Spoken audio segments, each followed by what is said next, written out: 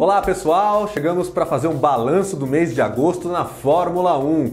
Foi um mês sem muitas corridas, só aconteceu uma no último fim de semana mesmo, com a vitória do Lewis Hamilton no GP da Bélgica. Esse resultado deixou o piloto da Mercedes a apenas 7 pontos de distância do líder Sebastian Vettel da Ferrari. Mas o papo agora é o que eles fizeram durante o período de férias. Foi praticamente um mês sem corridas. Vamos ver o que eles andaram aprontando por aí.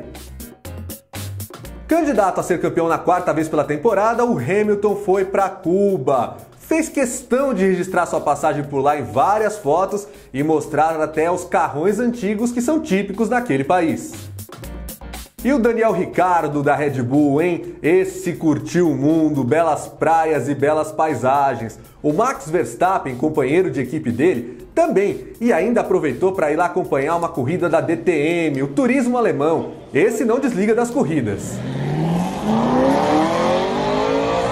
Mas tem quem aproveite as férias para ficar mais com a família, não é mesmo? O Valtteri Bottas foi para a Finlândia e ficou lá curtindo um período em que ele pode ficar numa boa, sem precisar ficar viajando pelo mundo. O brasileiro Felipe Massa, por sua vez, usou o tempo para fazer preparação física. Na última corrida antes das férias, ele tinha ficado fora após passar mal e agora quer estar inteiro para o restante da temporada. Mas quem precisava muito de um descanso para esfriar a cabeça era o Fernando Alonso, não é mesmo? Ele que está vivendo mais uma temporada terrível com os problemas da McLaren e o seu motor Honda, foi curtir belíssimas paisagens lá em Mykonos, na Grécia. Essa estava merecendo, hein, Alonso?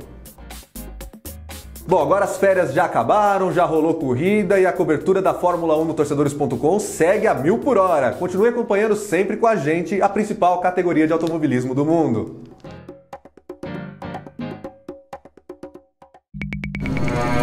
You.